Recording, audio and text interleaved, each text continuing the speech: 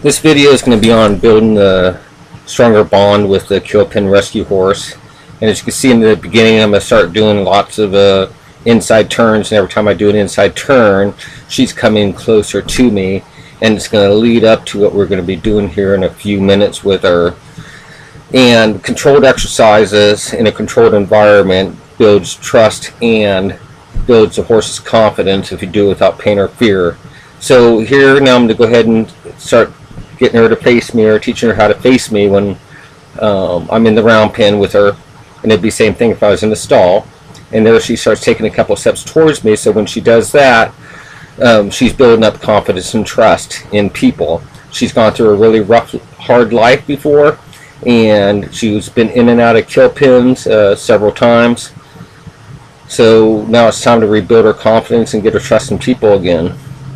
So we're going to have her keep facing me, and then there she takes a couple of steps towards me again, which again, she's building up her confidence and her trust, and I'm going to go ahead and pet her and tell her she's a good girl.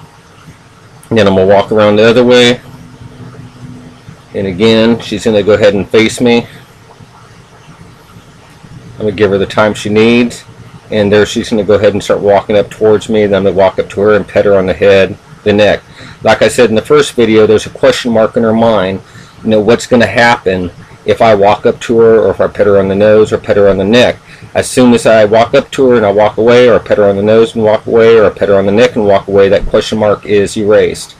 So to see this video in full, join my membership page. Just click at the link uh, in the description box and go to the Mike Hughes Horsemanship members page. You can either subscribe and become a member or you can go ahead and just follow us and get free updates and horse training tips.